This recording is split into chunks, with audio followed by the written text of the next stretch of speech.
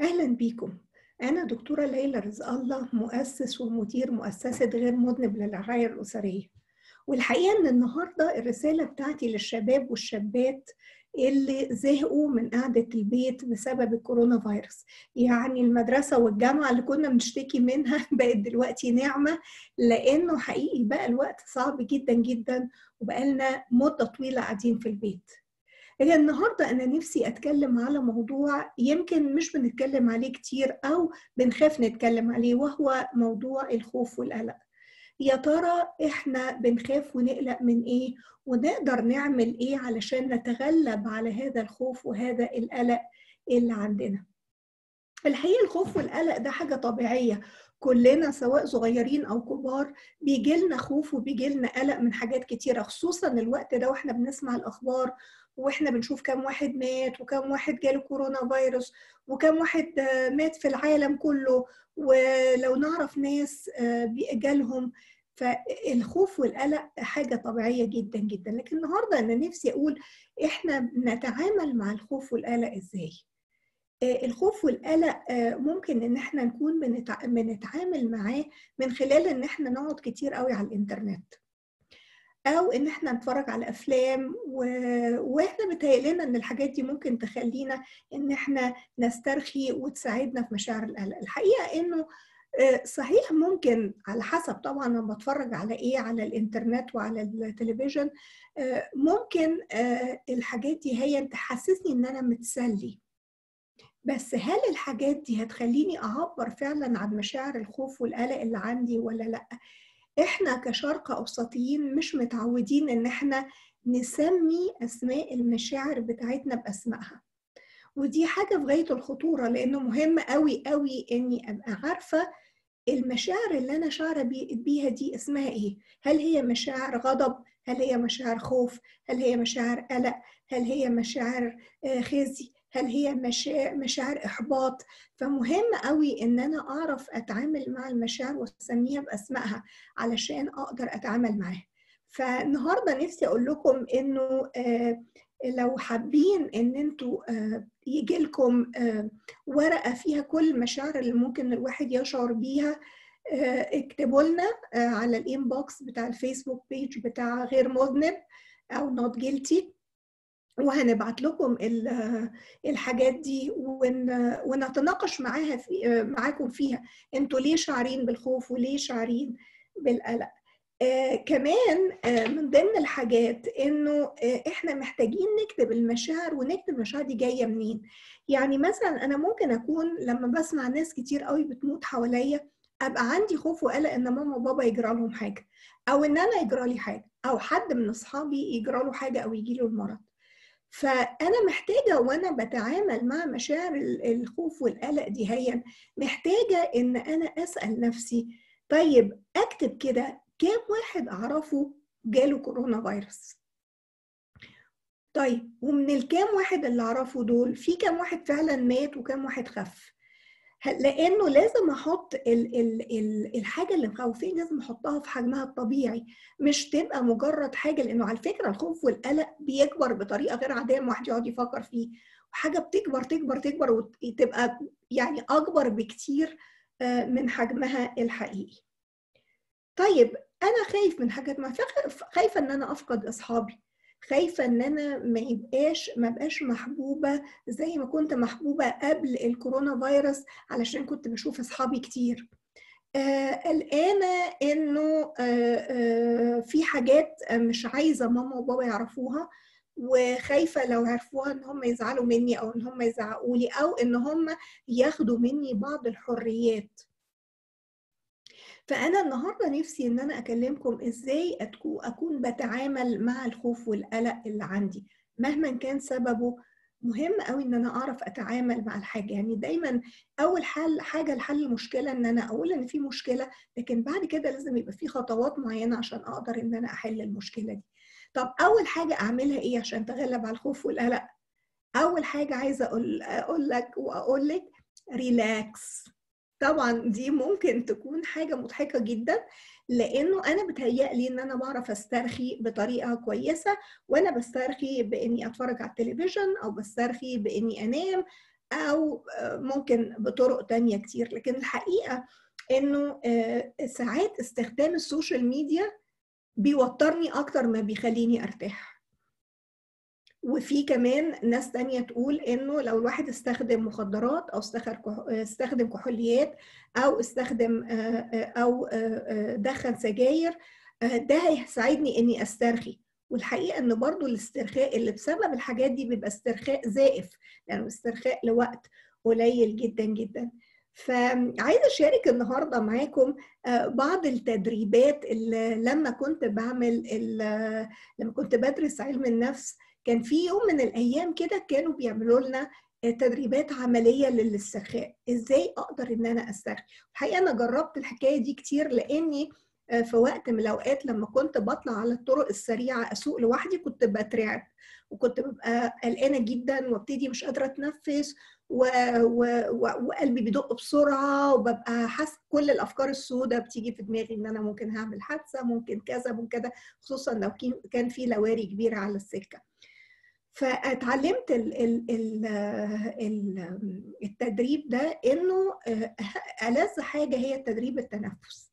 تدريب التنفس إن أنا باخد نفس عميق لجوه قوي وبكتمه لمدة أعد الأربعة وبعد كده أعمل زفير لمدة لحد ما كل النفس اللي جوه الرئة يطلع. فبعمل باخد شهيق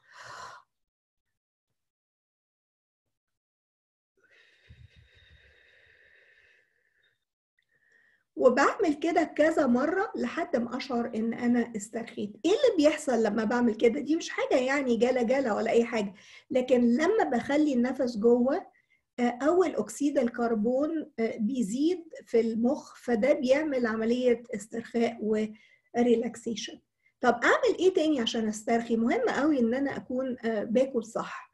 يعني دلوقتي مش وقت إن أنا إن أنا أديها شوكولاتة وحلويات وأحط ال ice cream قدام التلفزيون وأفضل آكل فيه. لا مهم جدا إن أنا الأيام دي أكون باكل أكل صحي أكون باكل بروتين أكون باكل خضار أكون باكل فاكهة.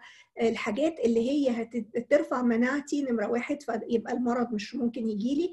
ونمرة اتنين بتكون ال ال بتديني بترفع الهرمونات الجيدة مش الهرمونات اللي بتسبب الخمول والقلق. الحاجة الثالثة هي إني أحاول ألعب رياضة ودي من ضمن الحاجات اللي ممكن نعملها دلوقتي على ال social media إني أدخل على تمرينات رياضية ممكن أكون بعملها قدام التلفزيون في البيت أو في أوضتي وأنا فاتح الآيباد وأعمل التمرينات دي ليه؟ لأنه برضو التمرينات الرياضية اليومية بتجري الدم في كل الجسم وبتخلي كمان ال بتخلي ال المناعة بتاعتي بتزيد. من ضمن كمان الحاجات اللي ممكن أعملها للخوف والقلق هي إن أنا لازم أكون بنام ساعات معقولة. مش بنام كتير قوي يعني مش انام لحد الساعة 2 وبعدين أصحى لحد الساعة 5 صباحا وهكذا. ده مش خالص هو المقصود. لكن أنا أنام من 6 ل 8 ساعات كل يوم في توقيت مناسب علشان أقدر إني أكون صاحي فايق. لما سألت ناس كتيرة من المراهقين إيه أكتر حاجة وحشتكم في وقت كورونا الإجابة كانت دايما الناس.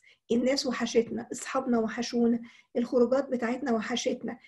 يعني في منهم حتى قال المدرسة وحشتنا والجامعة وحشتنا رغم إنه يمكن في الوقت العادي بنبقى نازلين وإحنا متضررين إن إحنا نازلين.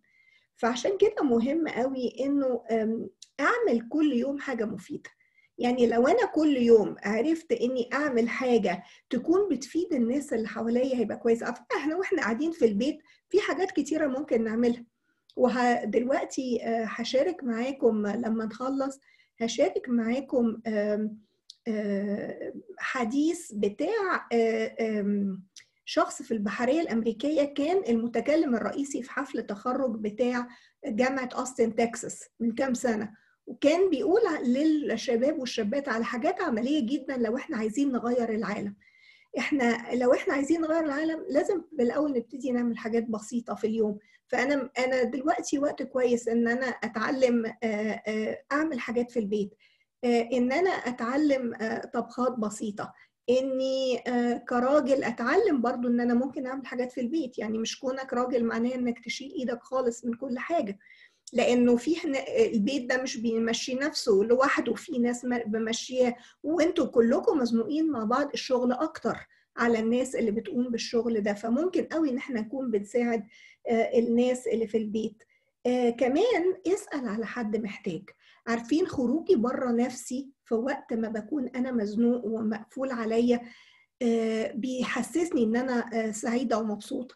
يعني أنا مثلا في وقت الحبسة دي أنا عملت كده لنفسي سيستم كده كل يوم إن أنا أسأل على ثلاث أربع ناس أنا عارفة إنهم محبوسين لوحدهم إنه محدش يمكن بيسأل عليهم. عايزة أقول لكم إنه ساعات الناس مش بتسأل عليا بس مش مشكلة. أنا أنا هطلع بره نفسي مش هستنى الناس تسأل عليا لكن كمان أنا هسأل على الناس هبعت مسجات للناس يا جماعة عاملين إيه؟ محتاجين أي حاجة؟ هل في أي حاجة قلقاكم ممكن أكلمكم؟ وهكذا. إن خلينا نطلع بره نفسنا. دلوقتي كمان هو الوقت اللي أتعلم الحاجات اللي ما كانش عندي وقت أتعلمها قبل الحظر. يعني ممكن قوي إن أنا لنفرض إن أنا كنت عايزة أتعلم لغة جديدة. ممكن أعمل كده على الإنترنت. وأنظم نفسي انه في كل يوم في نفس الميعاد هتفرج مثلا على حاجة على اليوتيوب عن تدريب عن التصوير. مثلا عايزة أبقى أنا مصوراتي محترف. فحلو قوي إن أنا في الوقت ده أنظم نفسي إني أتعلم كل يوم حاجة جديدة. على فكرة في ناس مننا هتطلع من الحظر حاجة تانية خالص حاجة أحسن بكتير.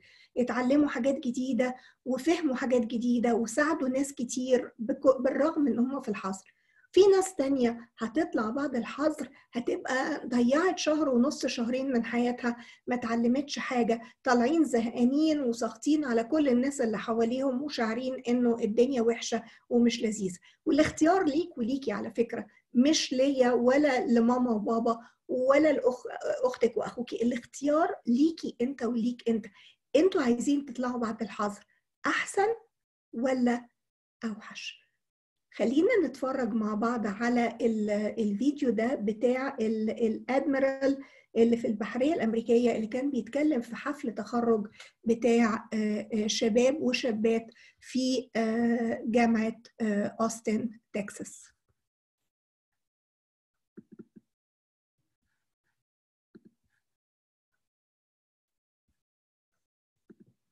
So if you want to change the world, start off by making your bed. If you make your bed every morning, you will have accomplished the first task of the day.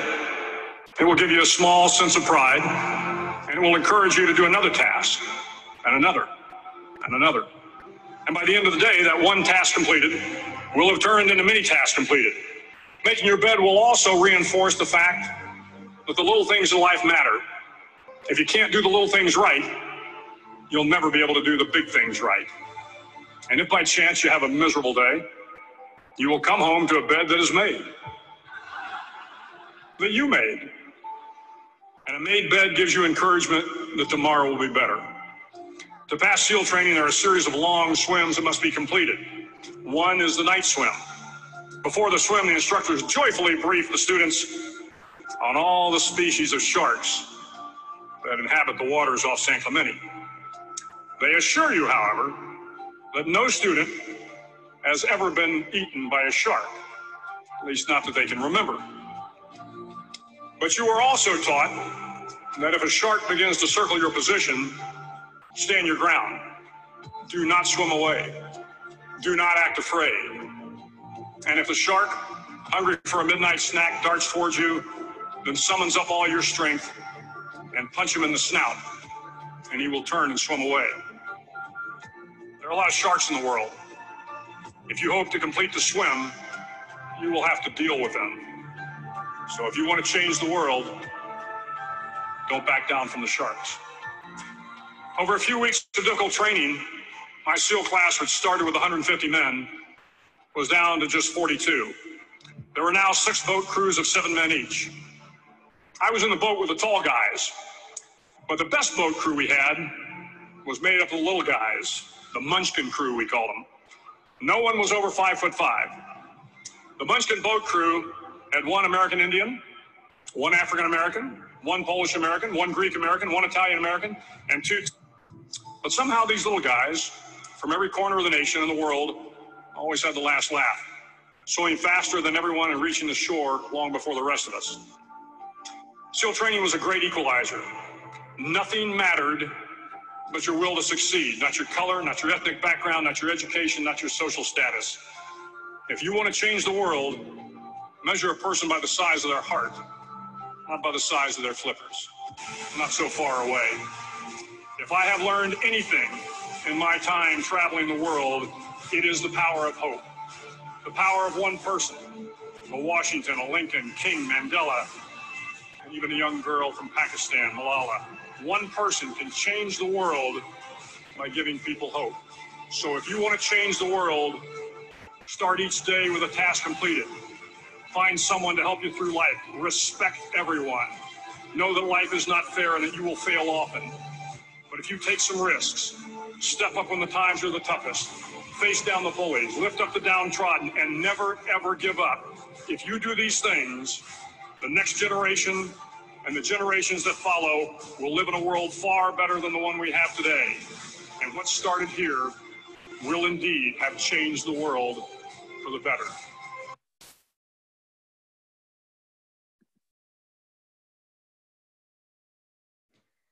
خلينا مع بعض نغير العالم خلينا نتغلب على الخوف والقلق واكتبوا لنا هنرد عليكم أنا دكتورة ليلى رزق الله مؤسس ومدير مؤسسة غير مذنب للرعاية الأسرية.